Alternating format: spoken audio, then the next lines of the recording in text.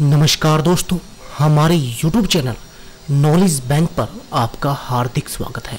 आज मैं आपके लिए एक महत्वपूर्ण टॉपिक लेकर आया हूँ आपको स्वस्थ बनाने के विषय में, आपको बहुत सारी बीमारियों से बचाने के विषय में।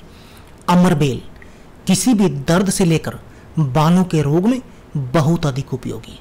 आइए जानते हैं इसके बारे में। दोस्तों, अमरबेल के बारे में लगभग हर व्यक्ति जानता है। लेकिन इसके औषधीय गुणों के बारे में बहुत कम लोग जानते हैं। विभिन्न प्रकार के रोगों को दूर करने में यह बहुत अधिक कारगर है।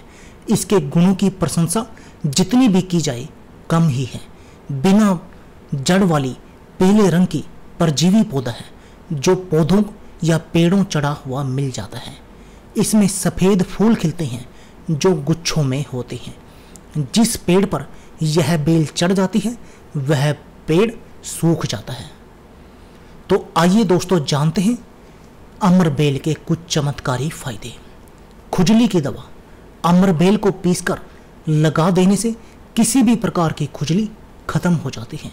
बरसात या जाड़े में उंगलियों के बीच सफ़ेद होने, खुजलाने या घाव होने पर इसके पौधे का रस दिन में पाँच से छः बार लगाने से बिल्कुल राहत मिलती है। हर प्रकार के दर्द की दवा है अमरबेल।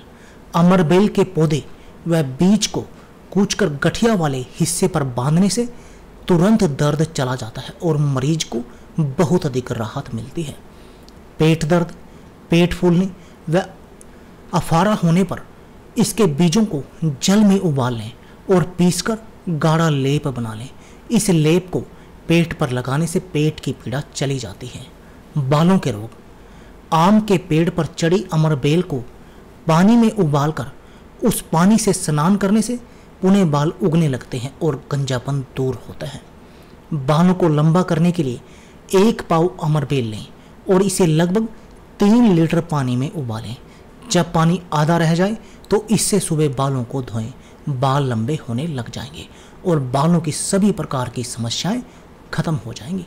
तो दोस्तों, आप भी अमर बेल के प्रयोग करके अपने लिए फ़ायदा उठा सकते हैं, स्पेशली फॉर दर्द और बालों के लिए। तो दोस्तों, यह थी हमारी वीडियो। अगर आपको हमारी वीडियो अच्छी लगे या इससे आपको कोई जानकारी प्राप्त हो तो प्लीज़ आप हमारी वीडियो को लाइक व शेयर करना ना भूलें। इसके साथ साथ आप हमारे यूट्यूब चैनल को सब्सक्राइब करना ना भूलें, क्योंकि इस चैनल पर आपके लिए हम ज़बरदस्त टिप्स लेकर आते हैं, जिससे कि आप अपने जीवन को सुखमय बना सकते हैं और सुखमय जीवन जी सकते हैं। धन्यवाद दोस्तों।